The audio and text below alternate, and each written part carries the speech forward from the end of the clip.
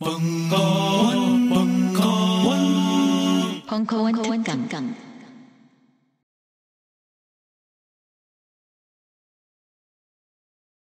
네, 안녕하세요. 수요일 날 역사 강의 마지막 회 했거든요. 그때 오신 분들도 또 계시고 아, 그래서 어쨌든 이게 지금 세 번째가 됐네요. 그새 아, 과학과 사람들은 제가 관여를 하는 곳이고요. 음, 과학, 뭐 교육이라면 좀 우습고, 음, 과학과 인문학의 만남 하면 좀 거창하고, 과학을 말로 풀어서 얘기한다라면은 아마 적절한 지금 상황에서는 그런 일을 하고 있는 것 같아요. 그래서 과학과 사람들하고 벙커 원이 함께하는 공개 과학 토크 과학 같은 소리 한해 제 3회 오늘의 주제는 함 덤벼보는 상대성 이론 1편 예, 이게 상당히 복잡하고 긴 내용이라 1편을 오늘 하고 어, 다다음 주인가요? 다음 달이죠. 네, 다음 달에 2편을 하고 그리고 이것도 다 팟캐스트화 될 거고요. 저희 1회, 2회, 1회 외계 문명에 썼고 2회 공룡에 썼고 다 이제 저 팟캐스트로 올라가 있죠. 이게 좀 복잡한데 팟캐스트 이름은 과학하고 앉아 있네요. 그 안에 들어가시면은 스튜디오 팟캐스트가 있는데 그게 또 과학하고 앉아 있네고 이 공개 토크는 과학 같은 소리 한 해가 돼 있거든요. 네, 바보 같은 상황이죠. 제가 생각해도 저 스스로도 막 헷갈려서 이상한 말을 틀린 말을 막 하고 하기 때문에 방금 굉장히 천천히 얘기를 한 거거든요. 또 어쩌다 보니 그렇게 됐네요. 예. 저희 오늘 모실 이종필 박사님도 이걸 헷갈리셔가지고 예. 그 PPT를 이상하게 만들으셔서 제가 수정을 함 댐벼버는 상대성 원리, 예, 저 바보들을 위한 상대성 원리죠. 여러분이 바보라는 게 아니라 상대성 원리가 어렵기 때문에 우리 대부분이 상대성 원리 뿐만이겠습니까? 뭐 과학, 수학 이런 데는 바보 상태로 많이 살고 있고 오래 살아왔고 예, 그 문제를 수학으로 극복은 못합니다. 우리가 할 수 있어요, 우리 못하죠. 예. 그러니까 어떻게 뭐 쉬운 개념으로 말로 풀어가 보자는 그런 개념인 것이고 자 주제는 이렇고 오늘 말씀을 해주실 분은 예, 물리학자 이종필 박사님이십니다. 잠시 후에 등장을 하실 때 거대한 박수로 환영을 해주시면 감사하겠고요. 이 이종필 박사님은 우리가 선망하고 증오하는 S대를 나오셨죠. S대에서 박사를 하셨죠. 그래서 입자 물리학으로 박사학위를 받으셨대요. 그리고 이것도 못 외워서 읽고 있어요. 예, 제가 머리가 좀 어. 카이스트 부설 고등과학원에 계셨고 그런 다음에 역시 우리가 선망하고 또한 증오하는 Y대학교, K대학교 등에서 연구원으로 재직을 하셨고요. 지금은 그 건국대 학술 연구 교수로 계십니다. 네, 이제는 뭐 나오시면 타이밍이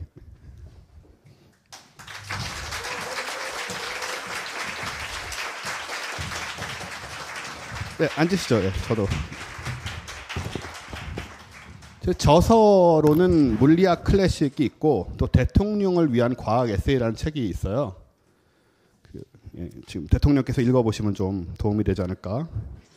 저 뒤에 뭐 책도 지금 있으니까 보시고요 한번 예, 아주 그 과학을 쉽게 설명한 그런 좋은 책들로 잘 알고 있습니다. 아 그럼 저도 이제 좀 앉겠습니다. 반갑습니다. 반갑습니다. 반갑습니다. 안녕하세요. 뭐 본인 소개를 더 하실 건 없죠? 제가 그냥 소개요. 예. 예, 별로 소개할 건 없는데 출판사에서 책 광고 좀 해달라 그래가지고. 아 당연히 해야죠. 예. 경청해 주시기 바랍니다. 뭐 경청까지는 그렇고 어, 오늘 얘기할 게 상대성 이론이라서요. 이거 관련해서 여러분이 보실 만한 게 그 제가 처음 쓴 책이 신의 입자를 찾아서라는 책이 있어요. 그 책이 어 힉스 입자 발견된 것 얘기 들으셨죠, 그죠?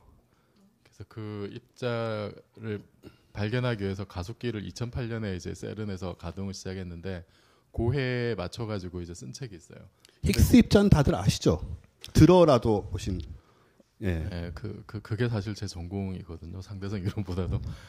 그래서 아 근데 그 책의 한 절반 정도가 상대성 이론하고 양자역학이에요. 그래서 제 딴에는 좀 쉽게 쓴다고 썼으니까 오늘 들어보시고 잘 이해가 안 된다 그러신 분들은 그 책하고 그 그리고 지금 뒤에 판매하고 있나요? 저기 작년에 나온 책 중에 물리학 클래식이라는 책이 있어요. 그 책에서는 어, 여기 상대성 이론과 관련된 아인슈타인의 그 중요한 논문들 그러니까 원래 그 책의 취지는 20세기의 가장 중요한 물리학 논문들을 10개를 추려서 설명하는 건데 당연히 이제 아인슈타인의 상대성 이론 논문들도 있으니까 어, 그 실제 논문에 대한 어떤 해설 글들이 있습니다. 그래서 좀더 어, 심층적으로 아마 이해할 수 있는 계기가 되지 않을까 싶고요. 그리고 제가 그 개인적으로 오마이뉴스하고 좀 인연이 있는데 오마이뉴스에서 하는 인터넷 강의로 오마이스쿨이라는 게 있어요.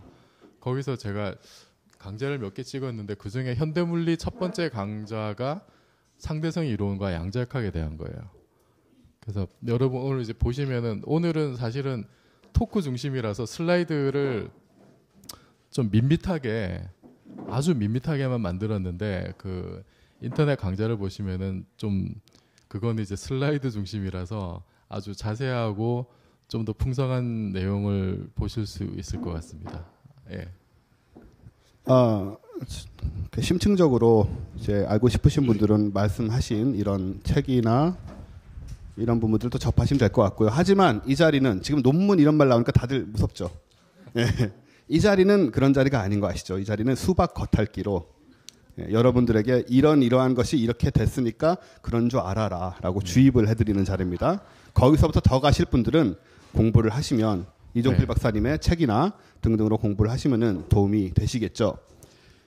여기 저 사진 제 캐리커처는 항상 있던 캐리커처 아니고 저희 처음 오신 분들을 위해서 저 조석 만화 저 마음의 소리에 나오는 그 조석 여자친구 애봉이 아빠 얼굴이거든요. 제가 무단 도용에 쓰고 있고요. 여기 이종필 박사님은 저 언제 사진입니까? 저게 그, 오, 그 오마이스쿨 강의하면서 거기서 이제 화보로 찍은 거예요. 광, 광고용으로. 아, 그- 각 잡고. 오래된 사진은 아니고요. 어, 저게 어, 정확하게 언제냐면은 작년 대선 끝난 12월 20날 그 예, 오전에 제가 아, 오후죠 오후에 거의 제 멘붕 상태에서 찍은 근데 너무 막 이렇게 애째고 보- 보시면은 막 미소가 미소가 굉장히 자연스럽게 나왔죠. 전날 제가 정신이 너무 없어가지고 정신줄을 놓으니까 웃음이 그냥 자연스럽게 막 나오더라고요. 그래서 저런 자연스러운 미소가 나왔던 게 예. 네, 뭐 그래서 상대성 이론 얘기를 이제 하게 되겠습니다. 상대성 이론하면은 뭐 방금 양자역학 얘기도 하셨지만은 좀 어려운 물리학, 현대 물리학의 대표격인데 그렇죠. 일단은 여기 얼굴도 나와 있는 이, 이 할아버지 아인슈타인 네. 할아버지가 하신 거잖아요. 그렇죠. 그 이 사람에 대해서 일단 먼저 조금 얘기를 해보면 예. 어떨까? 뭐 아인슈타인은 뭐 여러분들 다들 잘 아시겠지만 20세기의 대표적인 과학자고 어뭐 인류의 슈퍼스타죠. 어, 그래서 다음 슬라이드를 보시면은 아, 아 리모컨이 있군요. 예. 어, 젊을 때 사진인데 어우 잘생겼죠. 그 태어난 게 1879년에 독일에서 태어났어요. 유- 화이트데이 때. 유태인이죠. 예, 예. 유태인. 예. 그리고 어 뭐 보시면 독일 국적을 포기했다가 이제 취리 공대 입학하고 예. 그리고 베른 특허청에서 아시는 대로 기술 심사관으로 있다가 1905년 그 보시면은 1879년에 태어났으니까 연도에다가 1을 더하면 아인슈타인의 만 나이가 됩니다. 아, 예. 그 그, 저기 음. 물리하는 사람들은 숫자에 약간 강박관념이 있어요. 저는 그 얘기를 듣고도 모르겠죠 무슨 말인지. 여러분 아시겠어요 무슨 말인지? 그러니까 예를 들어서 1905년 저기 아누스 미라빌리스라고 써놓은 게 저게 이제 아인슈타인 기적의 해라는 거거든요. 그 1905년이니까 저게 이제 26세 되던 해 만. 만 26세일 때죠. 저 해에 아인슈타인이 그 중요한 논문 논문을 단 다섯 개를 쓰는데 그 중에 세 개가 굉장히 중요해요. 그뭐 오늘 얘기할 특수 상대성 이론 논문도 저때 나왔고 광전 효과 아인슈타인에게 노벨상을 안긴 광, 광전 효과도 그때 나왔고 그 다음에 브라운 운동에 대한 논문도 저 때 나왔어요. 여러분 그 브라운 운동은 이게 왜 중요하냐면은 그 분자나 원자의 존재를 직접적으로 확인하게 되는 계기가 되는 게 이제 저 논문이에요. 그래서 저게 아인슈타인 기적의 해고 10년 뒤에 1915년이니까 이제 아인슈타인 만 나이 36세죠. 저때 11월 달에 일반 상대성 이론을 완성하게 되고 21년에 이제 노벨상을 받는데 저게 상대성 이론으로 받은 게 아니라 광전 효과로 받습니다. 광전 효과라는 게 금속에다가 빛을 쬐면 전자가 튀어나와서 전류가 흐른다. 이게 광전 효과거든요. 뭐 여러분 집에 있는 디지털 카메라 그게 다 그런 원리예요. 빛을 받아서 뭔가 전기 신호로 바꾼 건 다 광전 효과입니다. 그리고 미국으로 가서 뭐 원자 폭탄 이거 관련된 일이 있었죠. 39년에 이제 같이 루즈벨트한테 편지를 써가지고 나치가 이 무시무시한 무기를 개발하기 전에 미국이 먼저 개발했다 뭐 이런 얘기도 네. 하셨고 그리고 55년에 이제 사망했는데 저 보시면은 아인슈타인이 살았던 생애가 이게 이제 우리 우리나라 역사에 딱 보면요 한국의 참 파란만장한 근대사하고 거의 일치해요. 아 그렇네요 진짜. 예, 우리 그러니까 우리 우리나라가 저기 조선이 개항한 게 1876년이잖아요. 그죠? 강화도 조약. 뭐 그런가 보다 하자고요 우리. 네. 그리고 다, 당연히 우리가 알 것 같이 말씀하시는데 그리고 청, 1953년이면 우리가 이제 그 정전협정 체결했을 때잖아요. 그러니까 뭐 거의 우리, 우리는 뭐 식민지하고 내정 겪고 막 이러던 게 아인슈타인의 생애하고 거의 겹칩니다 사실. 네. 그이 양반 보면은 지금 40살 이전에 중요한 업적은 그렇죠. 다 이미 이룬 26살 때 다 한 거죠 사실. 26살 때 네. 특수상대성 이론이 예, 나왔으니까 예, 예, 네. 예. 여기 평균 연령이 좀 얼마쯤 될까요? 어. 그러게요. 그래서 이제 이분이 이렇게 돌아가시기는 그 생각같이 오래 사시 76세 예, 사신 건가요? 76세죠 아, 만으로. 예, 예. 일을 더하면. 저기 저 저 아누스 미라빌리스 네. 저거는 저 라틴어죠. 예 그런 것 같아요. 예. 예. 이어 미라클이네요. 그렇죠. 어우 잘하시네. 뭐 중요한 얘기는 아니겠지만은. 네. 근데 이 양반이 저희가 네. 저 이미지가 이렇잖아요. 왜그 네. 사람 좋은 할아버지 예, 예. 천재인데 뭐 혓바닥 내밀고 있는 이런 사진 있고 어, 그렇죠. 천재 괴짜지만 마음씨는 좋고 뭐 음. 알고 보니 따뜻한 뭐 이런 이미지인데 예. 또 은근히 여성 편력도 좀 있고 뭐 네. 네, 그랬잖아요. 예, 예. 그래서 제가 저기 준비한 게 그 아인슈타인의 여인들을 좀 정리를 해봤는데 제가 사실은 오늘 그 토크를 준비하면서 제일 힘들었던 부분이 이 부분이에요. 너무 많아서 일단 뭐 보면은 그저 16세, 17세 저럴 때부터 쳐주는 네. 건가요, 저거? 예, 예. 네. 저 때가 마리 빈텔러를 만났을 때가 이제 그 스위스 공대 연방 공대 시험 쳤다 떨어져 가지고 그 이제 그 뭐 말하자면 뭐 재수 같은 거 하던 시기인데 거기 하숙하던 집 아저씨의 딸 예. 어, 항상 그런 식이죠. 네. 뭐. 네. 그래서 두 살 연상입니다.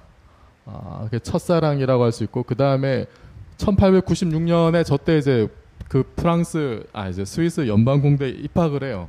거기 가서 만난 여자가 밀레바 마리치인데 결국은 밀레바 마리치랑 결혼을 하죠. 그래서 여기 사진에 있는 첫 번째 위에 사진이 밀레바 마리치예요. 첫 번째 부인. 그리고 뭐 안나 메이어 슈미트는 이제 연애 편지를 주고받다가 밀레바한테 들켜가지고 한번 아인슈타인이 체면을 구겼던 그 메이어 안, 안나 슈미트 남편한테 사과 편지 쓰고 죽을 죄를 지었습니다. 뭐 그런 그리고 엘자 레벤탈은 어, 아인슈타인의 이종 사촌 누나예요. 네살 연상. 근데 부계 쪽으로는 육촌 누나예요. 아, 부계로는 예. 육촌이고 모계로는 저기 이모의 친척인 딸. 거죠, 예. 예, 예. 예, 예. 그런 거죠. 그 뒤에 밑에 이름 비슷한 분도 친척이겠네요, 그러면? 아, 있어 보세요. 엘사, 그래서 엘사 레벤탈하고 저 때 이제 1912년에 굉장히 가까워집니다.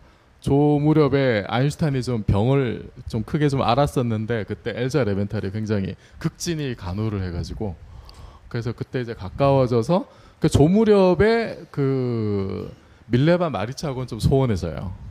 1914년에 그 사실상 이제 별거 상태에 들어가고요. 그리고 19년에 1919년에 어, 밀레바 마리치하고 이혼을 합니다. 그 이혼한 날짜가 언제냐면은 그 발렌타인데이예요. 1919년 2월 14일 날. 그때 이혼을 하고 그해 6월 2일 날 엘자 레벤탈하고 이제 결혼을 재혼을 하죠. 예. 근데 그 17년에 지금 일제 레벤탈이 저기 왜 나와 있냐면 일제 레벤탈은 엘자의 그 맏딸이에요.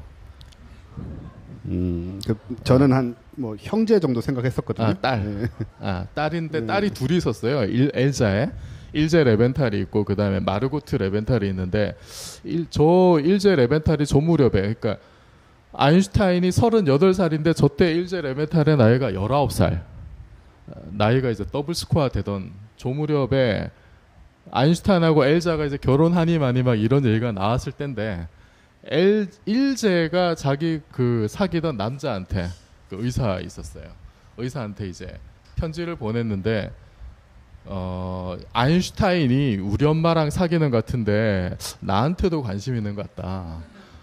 그래서 아인슈타인이 진짜 누구랑 결혼할지 잘 모르겠다. 이제 이런 편지를 써요. 아, 저 딸 딸내미가 어 딸이. 예. 그래서 그, 그 내용의 진위를 놓고 사실은 역사학자들 사이에서도 논란이 좀 있다 그럽니다. 한가 한가하십니다, 다들. 아, 일제. 일제의, 일제의 오버다.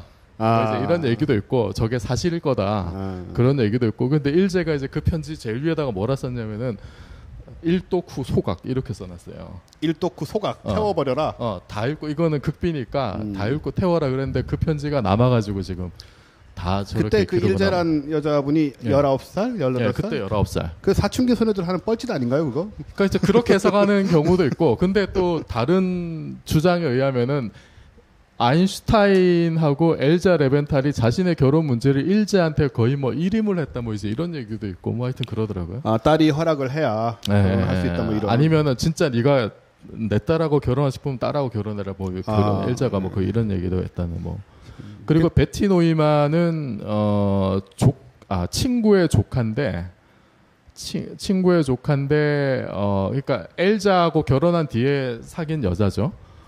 친구의 조카니까 어리겠죠. 그 자기 연구 연구 이론물 연구소를 차렸는데 거기 이제 비서로 채용을 했고 뭐 엘자의 묵인하에 physical 데이트를 즐겼다 이런 얘기가 있더라고요. physical 데이트를 즐겼다. 그러니까 아마 아인슈타인이 화학자였으면 chemical 데이트라고 했겠죠. 아, 예. 그리고 뭐 에텔 미카노프스키는 뭐 당시 베를린의 뭐 가장 유명한 명사 뭐 사교계의 아, 꽃. 네, 뭐 사교계의 꽃인데 그때 31년에 아인슈타인이 저기 옥스퍼드 갈 때 같이 호텔에 따라갔던 여자고 35년에 마가리타 코넨코바는 저게 이제 그 유명한 KGB의 그 공작원. 아, 아인슈타인이 KGB 공작원하고 예, 사귀었어요. 예, 예, 예. 고, 고 네. 이제 저 저기도 이제 굉장히 관련된 love line이 참 어우 대단한 저렇- 저렇게 되는데 여성 편력을 하다 보면 결국 그런 상황에 빠지게 예, 되는 예. 거죠. 그 여기 두 번째 사진은 이제 엘자예요, 엘자. 그 두 번째 아, 이- 분이 이- 이분이요? 예, 예, 아래쪽에 이제 엘자. 엄마 엘자. 예, 예. 그리고 그리고 뭐 밑에 뭐 그외 뭐 토니 맨델 뭐 돈 많은 미망인이라 그러고 에스텔라의 뭐 마- 마가트 램바 뭐 이렇게 했는데 요게 그 엘자하고 결혼했을 때 결혼 상황에 있으면서 아인슈타인이 사귄 여자가 이제 최소한 여섯 명 정도 돼요. 근데 이 사실이 어떻게 밝혀졌냐면은 엘자의 둘째 딸인 마르고트가 마르고트가 자기가 가지고 있던 편지를 그 80년대 초반에 이제 헤브루 대학에 기증을 합니다. 아, 아, 그 예, 다 기증을 하면서 뭐라 그랬냐면은 내가 죽고 나서 한 20년 후에 공개하라 그래요. 그래서 근데 마르고트가 언제 죽었냐면 86년에 죽었어요. 네, 그 2006년에 그래서 2006년에 이제 편지들이 쫙 공개가 됐습니다. 아, 그 전까지 모르다가 그저 아까 그러니까 대충은 알았죠. 뭐 네. 이제 코넨코바 뭐 이런 얘기 뭐 러시아 저기 소련 스파이 뭐 이런 얘기도 다 알긴 알았는데 좀 더 디테일한 걸 이제 알게 된 거죠. 2006년에. 근데 제가 이거 준비하면서 야 이거 참 우리나라는 이게 국가 정보기관이 이렇게 막 정상회담 대화부터 막 그냥 까는데 근데 어 그 헤브루 대학은 상당히 그죠? 그러게요. 예. 네, 훌륭한 대학이군요. 20년 20년이나 지키고 2006년이 딱 돼서 정확하게 날짜 지켜서 이제 데이터를 공개하는 이런 거 우리도 좀 배워야 될 것 같습니다. 이거를 지금 말씀하실 네. 때 보니까 거의 다 외우고 계세요. 이 상황을 대단하신 것 같아요. 누가 누구고 뭐 이런 거를 나름 네. 재구성을 했죠. 아, 공부를 많이 했습니다. 저도. 자 여기까지 이제 상대성 이론과 전혀 무관한 예. 얘기를 한참 들었고요. 하여튼 이런 거 재밌잖아요, 그죠? 아 근데 굉장히 지금 축약해서 말씀을 드린 거고 사실은 뭐 오늘 시간만 많다면은 그냥 이 얘기로만 사실 날밤을 샐 수도 있는 그럴 순 없으니까. 그러니까 그 어. 사실 아인슈타인이란 분이 뭐 이렇게 잘생긴 분도 아니고 뭐 그렇잖아요. 근데 머리가 좋은 남자들이 또 통해요 보면은. 아니 그왜왜 여자를 잘 꼬셨냐에 대해서도 이제 학자들이 이제 막 그 했는데 아, 학자들이 그런 걸 연구. 아, 이게 사학자들.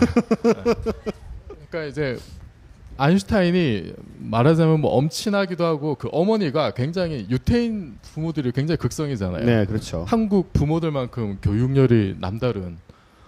그래서 그 아인슈타인 어머니도 상당히 좀 극성적으로 애를 키운 게 있고 네. 아인슈타인은 어릴 때부터 뭐 나름 엄친아였는데 지금 뭐 말하자면 이제 잘난 척쟁이. 잘난 척. 예, 예, 예.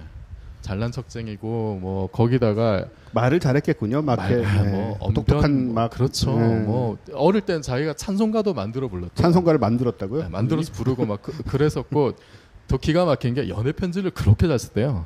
아, 네. 글을 잘 썼고. 글을 예, 편지를 기가 막히게 잘 썼고 그 다음에 또 중요한 게그 바이올린을 잘 음악도 어, 그렇죠. 글 잘 쓰고 음악 연 악기 연주하고 어. 모, 똑똑하고 모 차르트를 네. 그렇게 잘 연주했대요. 모차르트 를 잘했다고요, 어, 본인이. 어, 어. 그러니까 그러니까. 처음에는 바이올린 배울 때는 막 싫어가지고 막 이제 뭐 앙탈 부리고 그랬는데 어릴 때요? 어릴 때 음. 처음에 배울 때는 나중에는 이제 그 바이올린이 자기의 인생의 동반자가 됐죠 거의. 음.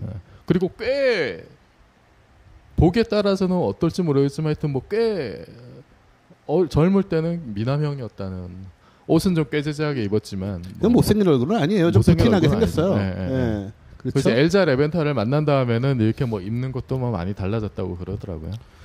그렇군요. 아무튼 네. 우리가 알고 있던 아인슈타인 예. 정확하게 말하면은 아인슈타인의 이미지하고는 네. 조금 또 예. 다른 삶을 살아셨던 사셨던 분인 거고 네, 그리고 지금 밀레바 마리치는 뭐 상대적으로 좀 불행했죠. 밀, 밀레바 같은 경우는 세르비아계의 헝가리 출생인데 그 당시에 여자로서 스위스 연방공대 들어갈 정도였으니까 네 아주 그 예, 분. 아버 그 아버지가 굉장히 이제 깨인 사람이었고 딸에게 기대가 컸어요.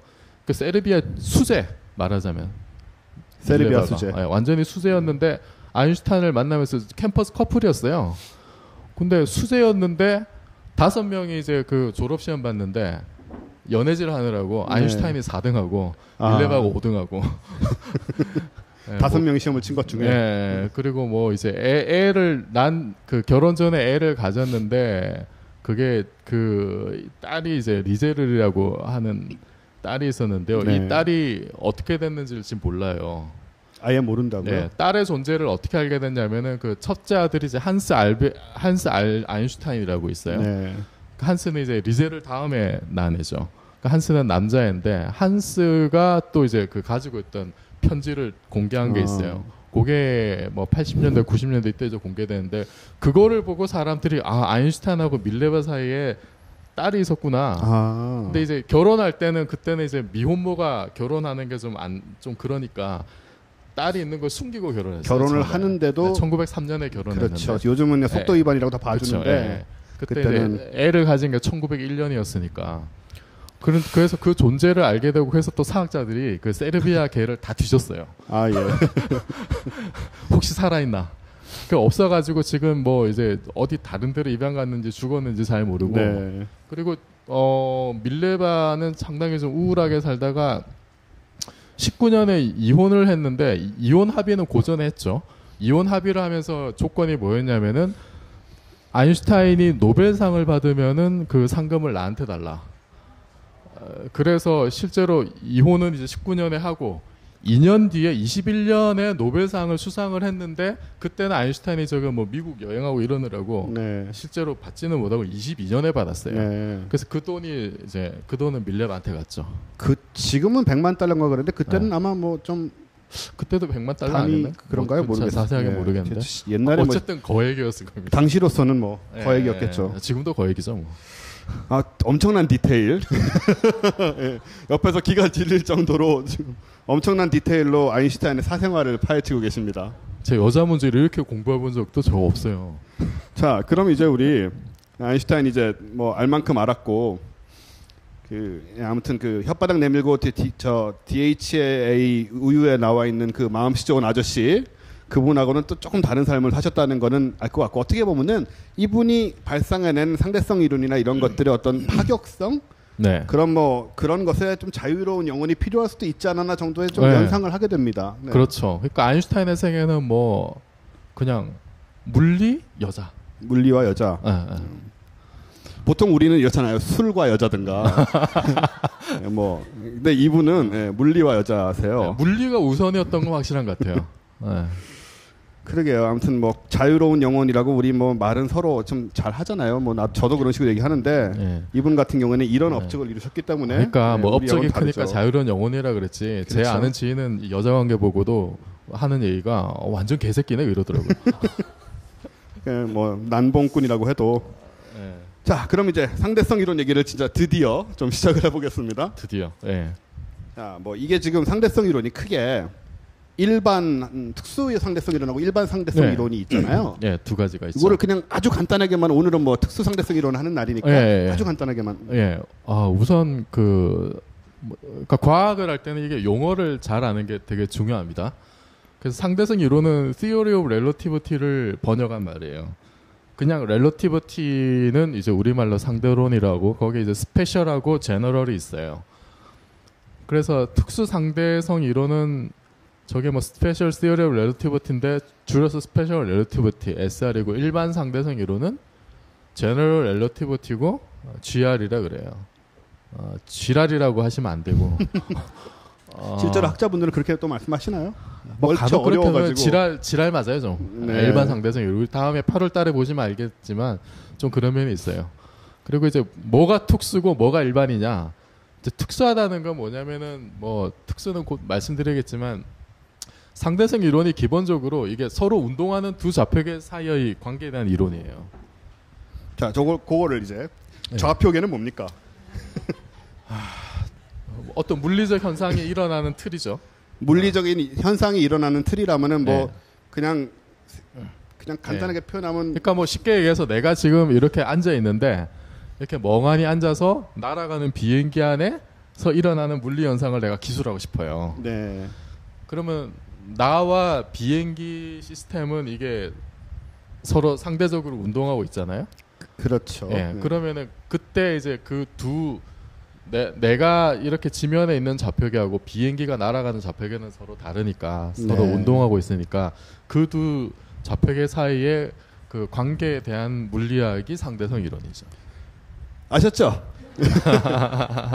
그런데 특수는 뭐냐면은 특수는 뭐냐 비행기가 그냥 나에 대해서 일정한 속도로 날아가는 겁니다. 속도의 변화가 없이 그거를 이제 등속 운동이라 그러죠. 그러니까 저는 이렇게 가만히 제 입장에서는 가만히 네. 있고 네. 비행기는 저기 슉 날아가고 있으니까 예. 실제로 저도 뭐 지구도 자전하니까 예. 움직이고 있긴 한데 예. 뭐 그런 거 다 이제 예, 빼고 제 입장에서는 비행기가 날아가니까 예. 예. 이제 걔가 이제 저에 대해서 등속 운동을 예, 하고 예. 있는 거죠. 예. 아 비행기가 가속 운동할 수도 있잖아요. 그렇기도 예. 하죠. 가속 운동으로 넘어가면 그게 이제 일반 상대성 이론입니다. 그러니까 등속 운동은 가속 운동의 특수한 경우죠. 가속도가 0인 경우가 등속이니까 가속은 속도의 변화가 있다는 거잖아요. 그래서 그렇기 때문에 등속 운동이 이제 특수한 경우가 되는 거예요. 가속 운동에. 자, 요걸 좀 설명을 좀 드릴게요. 간단하게. 그냥 등속 인- 운동이라는 거는요. 똑같은 속도로 움직이고 있으면 그게 등속 네. 운동이고요. 가속 운동이란 거는 우리는 생각하면은 걷다가 빨리 걸으면 가속 운동 같지만 빨리 걸을 수도 있고 속도를 늦출 수도 있고, 있고, 속도가 변화하는 경우는 무조건 다 네. 가속 운동인 거죠. 예. 원 운동도 가속 운동이에요. 속도의 방향이 바뀌기 방향이 때문에. 바 원은 우리가 원을 그리려면 방향을 바꿔야 되잖아요. 방향을 바꾸면은 그게 또 가속 운동이 예, 되고 예, 예. 이렇게 이해하시면 돼요. 예. 그래서 가속 운동은 등속 운동의 일반화된 경우라서 이제 제너럴이라는 말이 붙은 거예요. 그거는 다음 시간에 예, 아마 그거는 또, 이제 네. 다음 시간에 얘기하는 거고. 그래서 오늘은 이제 특수 상대성 이론에 대한 네. 이야기인데 예. 일단은 이게 맨 처음 우리가 알아야 될 부분은 뭐 어떤 걸까요? 여기에 나와 있나요? 예, 네. 이게 아인슈타인이 처음 이제 생각했던 제일 가정인데 특수 상대성 이론에 뭐 한번 보신 분들도 있을 거예요. 모든 관성 좌표계에서 물리 법칙이 똑같다. 우선 뭐 관성 좌표계라는 말이 좀 어렵죠. 저게 뭐냐면 좌표계는 이제 아까 잠깐 말씀드렸는데 좌표계는 그냥 우리가 임의로 끄어놓은 틀이에요. 물리적인 상황을 기술하게 해서 임의로 잡은 어떤 기준 틀이라고 보시면 되고 관성 좌표계는 뭐냐면은 저게 이제 교과서적인 말은 뉴턴의 관성의 법칙 있잖아요. 정제에 있는 물체는 정제에 있고 그다음 움직이는 물체는 계속 그 상태로 이제 움직이려고 하니까 운동 상태가 변하지 않는 그러니까 쉽게 말하면 뭐 다른 데서 어떤 뭐 외부 힘이나 이런 게 없는 거예요. 만약에 이제 가속 운동을 하면요. 버스가 갑자기 움직이면 우리 뒤로 힘을 받잖아요. 이게 이거는 관성 좌표계가 아닙니다. 그러니까 관성 좌표계는 그런 게 없는 거. 그러니까 서로 상대적으로 등속 운동을 하는 좌표계는 전부 다 관성 좌표계예요. 그렇게 일단 뭐 외우면 되겠죠. 예. 예, 외우 네. 모르면 외우시면 됩니다. 자 다시 한번 얘기하겠습니다. 예, 가속 운동을 하지 않고 예. 등속 운동을 제가 똑같은 속도로 걸어가고 예, 있다거나 예, 예, 예. 혹은 뭐 멈춰 있는 경우는 예, 여기에 예. 해당돼. 그러니까 뭐 멈춰 있다는 게 우주에서 멈춰 있다는 게 사실은 별 의미가 없는 거죠. 그렇죠. 뭐 어딘가가 예. 움직이고 있는 거니까. 예. 그래서 이게 상대적인 어떤 운동만 중요하다는 거예요. 근데 그, 그 서로 이제 상대적으로 움직이는데 그게 이제 서로가 이제 등속으로 움직이는 경우, 그게 이제 서로 관성 좌표계인 거죠. 그러니까 우리는 이제 우주 속에서 서 있, 멈춰 있을 수가 없거든요, 사실은. 음. 지구가 자전을 하고 예. 지구가 공전을 하고 또 태양계가 은하계를 또 공전을 하고 있기 때문에 우리는 사실 굉장히 빠른 속도로 다 시속 뭐 수천 수만 킬로 속도로 다 움직이고 있어요, 사실은.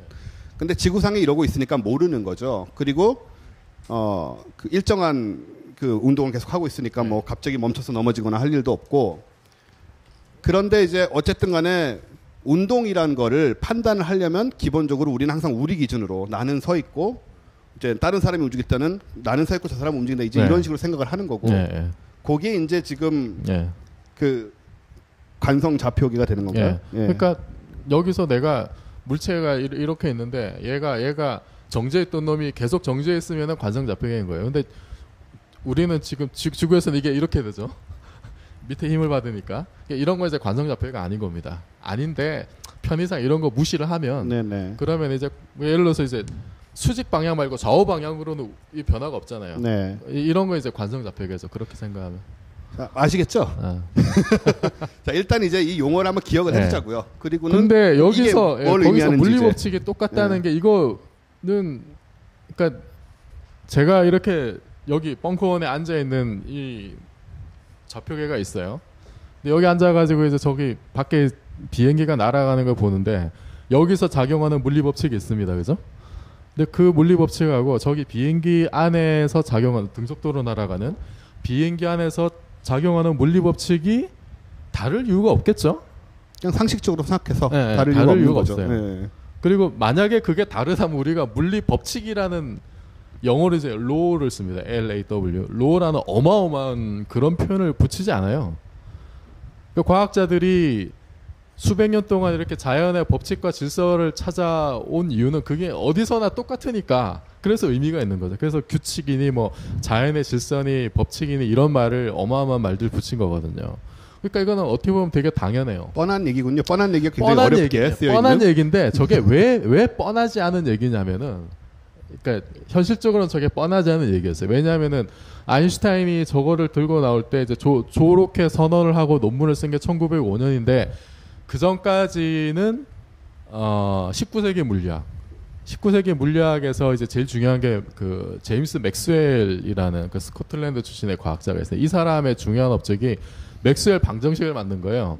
맥스웰 방정식이 뭐냐면 전자기 현상을 완성한 전자기 현상을 완성한 네개 방정식입니다. 그러면은 그걸로 이제 예를 들어서 아 빛이 빛이라고 하는 게 딴 게 아니라 전자기가 전기와 자기가 서로 이렇게 어? 수직으로 이렇게 파동을 이루는 것이 빛이다. 빛이 전자기파다. 이런 걸 이제 알게 된 게 이제 맥스웰 때문에 그런 거예요.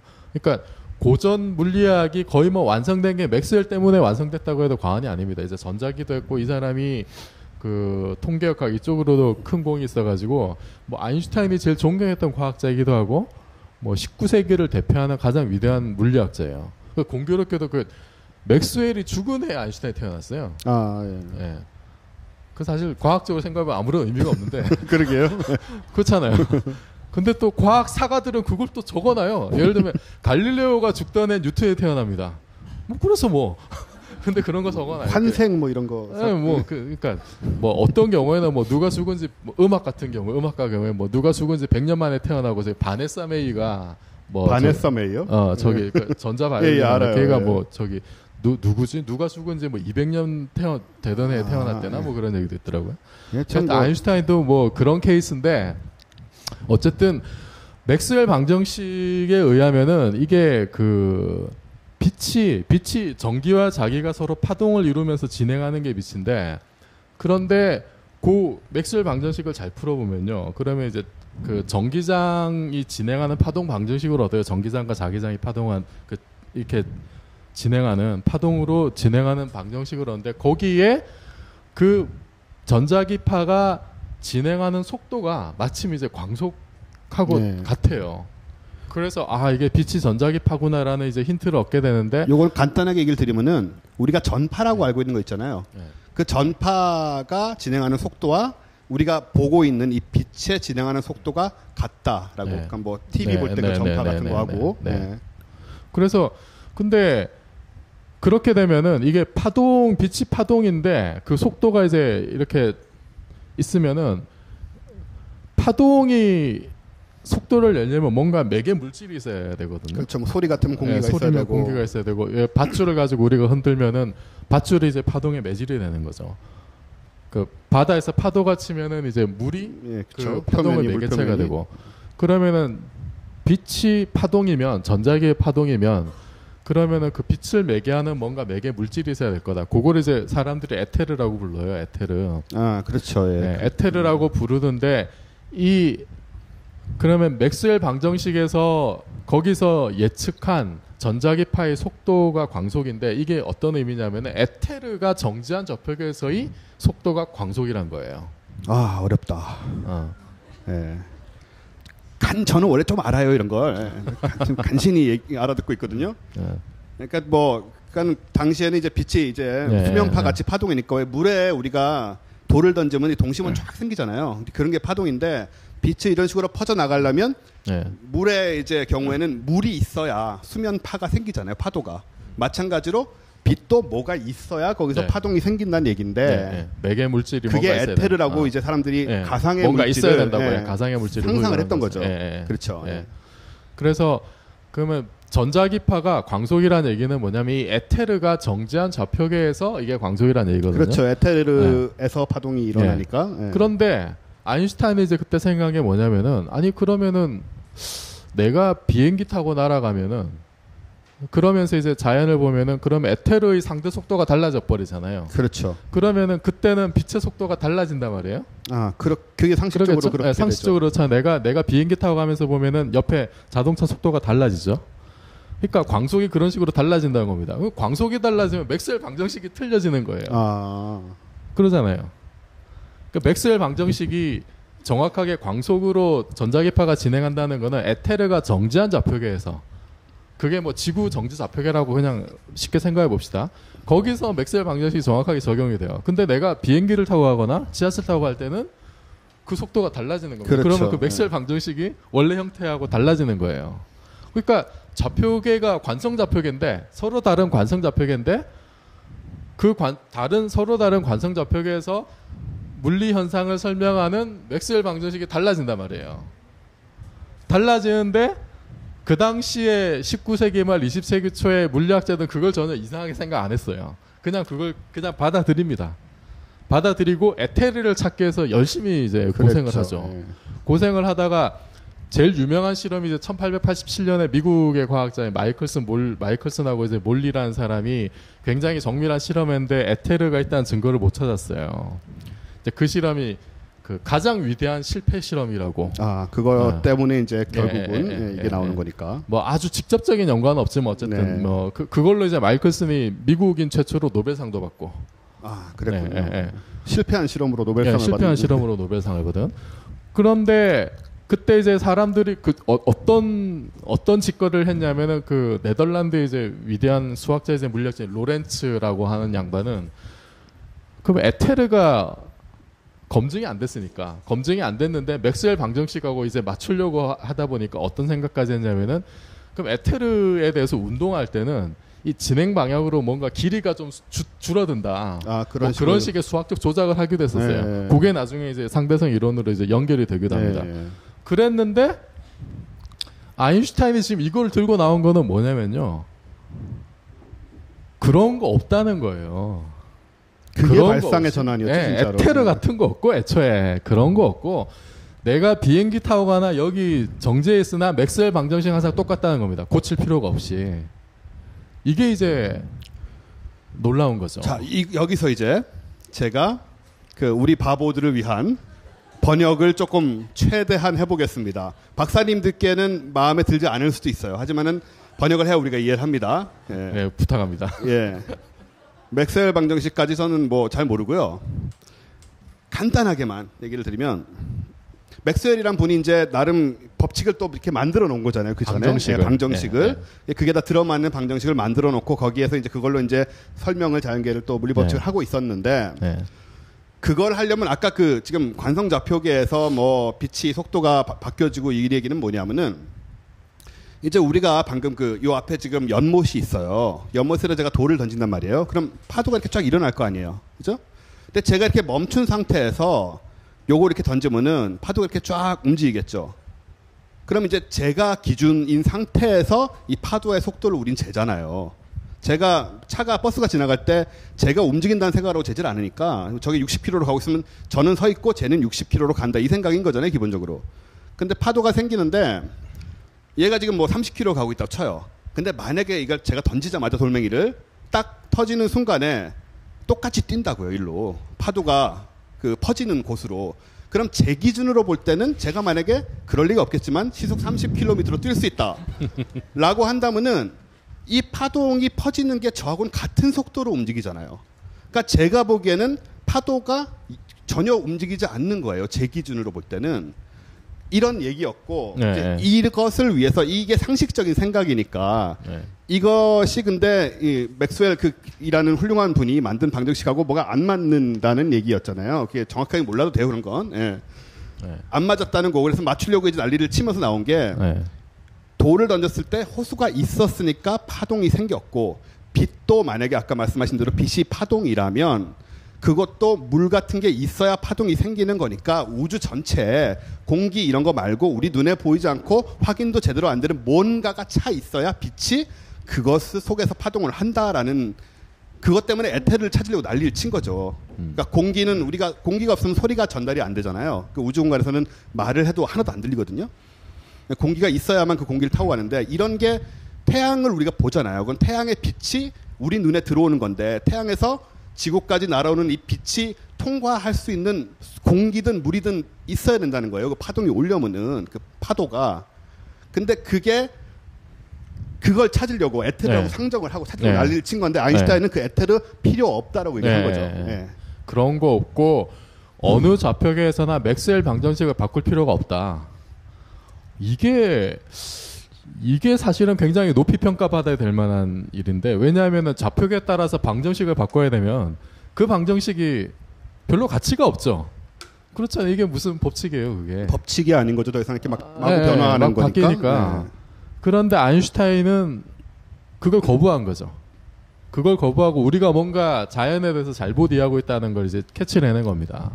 그래서 이게 굉장히 뭐 아주 당연하고 심플해 보이는 얘기이고 저도 사실 대학교 때 상대적 이론 배울 때 제일 과정 보고 이게 뭐 뭐별뭐 그냥 그러네 사소하게 넘어갔는데 그때도 사실 이 뒷얘기를 해주신 분이 없더라고요. 나중에 아. 이제 그걸 알게 됐는데 그 물리 법칙이 어느 좌표계에서나 이게 그 이제 형 모양은 그러니까 구, 구체적인 어떤 변수나 이런 건 바뀌어요. 근데 전체적인 모양은 이제 유지가 됩니다. 그게 굉장히 이제 중요한 포인트예요. 그래서 그거를 만족하는 어떤 새로운 질서, 새로운 좌표계들 사이의 관계를 찾아보자라고 하는 것이 특수 상대성 이론인 거죠. 네. 네. 음. 이제 아무튼 뭐 방금 제가 얘기한 대로요. 아인슈타인이 한 일은 이게 발상의 전환이라고 우리가 천재라고 얘기를 할 때 천재는 여러 종류가 있죠. 하나는 암기를 잘하거나 수를 잘 풀거나. 근데 요즘 그런 천재의 효용은 많이 떨어졌죠. 왜냐하면은 뭐 스마, 스마트폰 들고 다니면서 뭐든지 검색할 수 있고 계산기 손에 시험 칠 때도 계산기 들고 치죠. 요즘 뭐 대, 대학에서는. 예. 그러니까는 아인슈타인이 위대한 점은 다른 사람들이 다 이 호수가 필요하다라고 고정관념에 의해서 생각하고 있을 때 이 사람은 호수가 필요 없을 수도 있다 해서 뭐 필요 없다로 갔겠죠. 그리고는 자연을 그래서 있는 그대로의 네. 모습으로 네. 파악을 해서 네. 그것을 네. 해석해야 된다라고 네. 주장을 네. 한 거니까 네. 그 부분이 혁명적인 거고 네. 그런 네. 거죠. 예. 그리고 뭐 아인슈타인이 저 개인적인 생각인데 아인슈타인이 워낙 그 맥스웰을 존경했기 때문에 네. 그분의 방정식이 이렇게 더러워지는 거를 아, 용납을 안 했을 것그 같아요. 좀 잘못된 동기로 오히려 아, 광신- 개인적인, 개인적인 생각입니다. 개인적인 아, 예. 생각. 네. 뭐 예. 그래서 이제 네. 그래서 이제 결국은 요거를 통해서 지금 예, 우리가 이제 두, 두 번째 예. 과정이 어 관성이 똑같다가 아니고 저게 저게 이제 광속이죠 광속. 아 광속이요. 네. 예, 예, 그렇죠. 예, 예. 네. 광속이라는 게 지금 이제 등장을 하는 건데 이 특수 예. 상대성 이론에서 굉장히 중요하고도 또 흥미로운 부분이 예, 광속, 예, 빛의 예, 속도라는 예, 거잖아요. 예, 예, 예. 예. 그래서 광속이 일정하다는 거는 어 그 좀 전에 말씀드렸던 그러니까 맥스웰 방정식이 어느 좌표계에서나 똑같다. 그러면 어느 좌표계에서나 전자기파가 진행하는 속도는 항상 광속이겠죠. 그래서 그거를 그냥 아주 세게 그냥 가정으로 집어넣은 거예요. 어디서나 광속이 똑같다. 빛의 속도는 어디서나 예, 똑같다. 광속이 이제 빛의 속도죠. 예. 영어로 speed of light라고 하는데 초속 30만 킬로미터. 시속이 아니고 초속의 초속. 30만 지구를 킬로미터. 일곱 바퀴 반, 1초에 일곱 예, 바퀴 뭐, 반 뭐, 도는 예, 정도의 예, 속도라고 예, 얘기를 예, 하죠. 예, 슈퍼맨이 그 정도로 예, 날 슈퍼맨이. 그렇게 돌더라고요. 근데 저게 보통 이제 특수 상대성 이론 접하면은 제1 가정은 제1 가정은 뭐 당연히 그러겠지 하고 넘어가다가 제2 가정을 보면은 저게 말이 되냐 이제 이렇게 나옵니다. 왜냐면은 아니 내가 지하철 타고 가면서 옆에 있는 자동차를 보면 속도가 달라지잖아요. 그렇죠. 나도 움직이고 있으니까. 네. 예. 근데 빛은 안 그렇다는 거거든요. 그러니까 이게 핵심이에요. 이게. 네. 내가 내가 지하철을 타고 가면서 옆에 자동차의 전조등 빛을 보면은 그것도 역시 계속 광속이라는 겁니다. 내가 빛의 속도로 후진하면서 빛이 전진하는 걸 보면은 그럼 광속이 두 배가 돼야 되잖아요. 그렇죠. 상식적으로는. 근데 그렇지 않다는 거예요, 광속은. 그러니까 요거를 간단하게 또 설명을 드리 이게 굉장히 이상한 개념이고 네. 받아들이기 어려운 부분입니다. 네. 그래서 상대성 원리가 어려운 거거든요. 네. 그래서 이러니 제가 친구랑 친구가 제 옆에서 뛰어요. 이 친구의 이름은 비치입니다.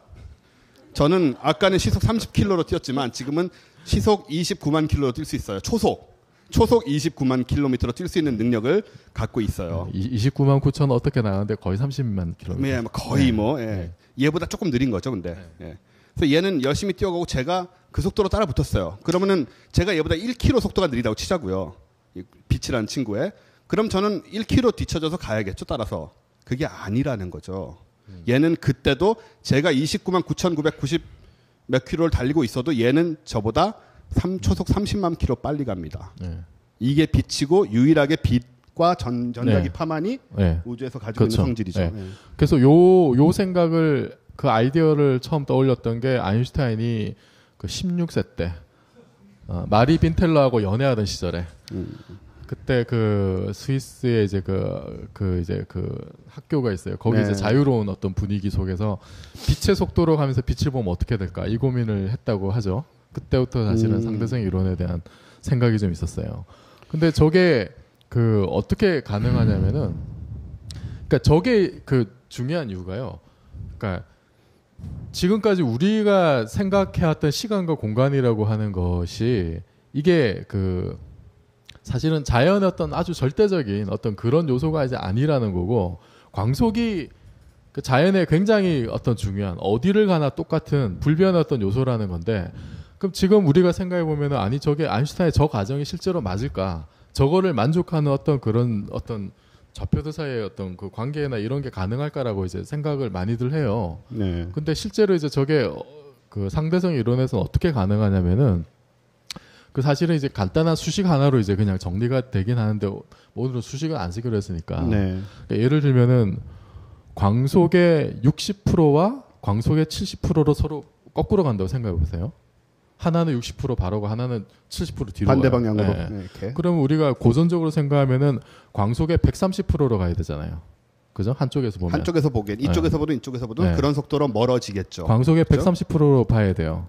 그럼 130%라는 얘기가 이제 100분의 130으로 보겠다는 거잖아요. 100분의 광속을 140. 넘어서는 속도가 네. 되네요. 그런데 실제로 상대성 이론에서 속도를 더하는 방식은 어떻게 되냐면은 그 두 속도의 곱하기, 곱하기한 양만큼 줄어드는 효과가 있습니다. 그래서 60% 70%면 곱하면은 42%죠. 네. 60, 40이니까. 그래서 100분의 100분의 130이 되는 게 아니라 142분의 130이 돼요. 어... 곱한 양이 이렇게 분모에 들어가 가지고 그러니까 전체적으로 속도가 줄어드는 효과가 있죠. 여러분 너무 복잡하게 생각하지 마시고요. 그 그러니까 아, 고전 고전역학적으로는 그냥 60km, 70km, 60% 70% 하면은 130%가 돼야 되는데 100분의 130이 돼야 되는데 상대성 이론에서는 100분의 130이 아니라 142분의 130. 분모가 곱한 커져 가지고- 양에 분모가 커서 커지는 정도가 뭐냐면은 속도의 양만큼. 그래서 항상 1보다 작은 1보다 상태를 예. 유지하겠군요. 그래서 광속의 90%로 서로 반대로 간다. 그러면은 광속의 고전적으로 생각하면 이게 180%가 나와야 되죠. 그렇죠. 근데 상대론적으로 생각해 보면은 곱한 거 그럼 81이잖아요. 0.81이잖아요. 그러니까 181분의 180이 돼요. 그래서 절대로 광속 안 넘습니다. 절대로 광속을 넘을 수 만약에. 하나가 광속이면 어떻게 돼? 둘 다 광속으로 멀어졌다. 그러면 200%죠. 고전적으로 200%인데 상대성 이론에서는 곱한 값이 100%니까 100 더하기 100분의 200이 돼서 항상 C가 나와요. 놀랍게도. 아. 자, 여러분이 이걸 왜 이해하기 어려우냐 하면요. 어렵기 때문입니다. 그리고 또 한 가지 이유는 이것을 이해하려면 일단은 수학을 할 수 있어야 됩니다. 이 방정식을 풀어내는 과정과 그, 그 과- 결과로서 이제 이런 네. 개념들이 또 도출이 돼 나오는 건데 예. 우리는 그렇게 갈 수가 없거든요. 이 수학을 우리는 할 수가 네. 없고 우리는 네. 이 언어를 모르기 때문에 번역된 말을 들어야 되기 때문에 어려운 거죠. 아 근데 뭐 초등학교 수준의 곱하기 나누기만 할 수 있으면은 알 수 있는 그 변한 속도가 어떻게 더해지는지를 계산하는 거는 이제 대학교를 가야 배우지만 그 결과를 이해하고 적용하는 거는 초등학교 산수만 해도 알뭐수 박사님의 있어요. 초등학교 때는 어떠셨는지 모르지만 저도 초등학교 때는 나눗셈 되게 잘 못했습니다. 네. 자, 이게 혼란스럽죠 지금. 네, 혼란스러운데 일단은 이 개념이 이 수학을 통해서 도출돼 나왔고 또 많은 실험을 통해서 또 네. 증명이 네. 100년간 네. 되었다라는 거죠. 이 그래서, 이상한 얘기가. 네. 그러니까 속도를 더할 때 우리가 흔히 일상적으로 겪는 식으로 속도가 더해지지 않는다는 거예요. 그게 일단 포인트입니다. 뭐 디테일은 모르셔도 되고. 그래서 어떻게 어떻게 더하든지 간에 어떻게 조합을 해도 광속을 넘어서는 속도를 만들 수가 없어요. 그래서 그 초속 30만 킬로미터가 우리 우주의 근본적인 제한 속도입니다. 어떤 것도 이걸 넘어설 수 없다. 예, 예. 네. 그래서 뭐 조금 이제 다르게 이거를 해석을 하는 방법도 있는데 예를 들어서 우리가 살고 있는 시 그 시간과 공간이 굉장히 이제 어디서나 똑같이 균질하고 그리고 우리가 좌표를 바꾸더라도 아까 얘기했듯이 아인슈타인의 제일 가정처럼 이제 물리 법칙이 변화가 없다 그러면은 그 거기서 막 이렇게 복잡한 수학을 좀 하다 보면은 그러면 항상 어느 좌표계로 가든지 항상 똑같은 속도가 하나 튀어나와요. 네. 그게 이제 우리 우주에서는 이제 광속이라는 거죠. 네, 우리 우주에서는. 예, 우리 우주에서는 그래서 저게 이제 절대로 저 속도를 넘을 수가 없어요. 그래서 상대성이 일어나면 항상 이제 요 광, 광속 불변, 광속 불변에 대한 얘기가 나오면은 이제 이런 얘기를 합니다. 그러니까 안드로메다가 우리한테서 250만 광년 네. 떨어졌잖아요. 그러니까 우리가 안드로메다까지 가려면은 무슨 수를 써도 250만 년 걸린다는 거예요. 빛으로 가도 빛보다 더 빨리 갈 수는 없으니까 250만 광년 250만 년 걸리는데 기술적인 한계가 아니고 네. 근본적인 한계다. 근본적인 한계. 네. 근본적인 뭐 다른 지름길이 있으면 모르겠지만 그냥 네. 바로 가는 데는 뭐 달리 방법이 없어요. 그래서 이제 이런 아이디어를 냅니다 누가 그러면 지구에서 안드로메다까지 이렇게 엄청나게 튼튼한 쇠줄을 만들어요. 네. 쇠줄을 만들어서 지구에서 안드로메다에 있는 어느 그 행성까지 바로 코앞에 닿을 정도로. 네, 네. 그래서 우리가 그 신호를 보낼 때 그 쇠줄을 탁 밉니다. 아. 그러면은 금방 안드로메다에 신호를 보낼 수 있지 않느냐 빛보다 빨리 음. 이제 이런 상상을 하죠. 네. 가능한가요, 그게? 불가능하죠. 왜냐하면 어떤 정보도 전달될 수 없는 거죠. 왜냐하면 이제 쇠줄을 이렇게 만들면은 우리가 그, 그 철근을 상상하시면 되는데 철근이 굉장히 길면 이게 막 이렇게 휘어지잖아요. 그럼 이쪽 한쪽 끝을 밀어서 그 쇠, 쇠줄을 이제 밀어서 정보를 보낸다는 건 한쪽 끝을 밀면은 그 정보가 쇠줄을 이루는 분자와 원자를 통해서 이렇게 진동을 해서 나가는 건데 그렇죠. 예. 그 신호가 전달된 게 결국은 이제 그 안에서의 전자기적인 아. 신호거든요. 전자기적인 신호는 다 빛으로 그 하는 뭐 거잖아요. 똑같은 문제에 빠지게 네. 되네요. 그러니까 결국은 그 쇠줄을 쇠 쇠막대를 이루고 있는 분자 원자들 사이에 서로 상호작용이 이렇게 막 진행이 되면서 그 안에 있을 때 파동을 치면서 이렇게 막 지나가는 거예요. 그러니까 그 속도는 당연히 빛보다 느리겠죠. 예. 그러니까 쇠줄을 밀면 이렇게 엿가락처럼 휘어지면서 진동을 하면서 250만 년을 가는 거예요. 그러니까 절대로 성공할 수가 없습니다. 좀 테이블 갈아야 된다고 해서요. 그래요? 예, 테이블 갈고 예. 잠깐 예. 벙커원, 벙커원,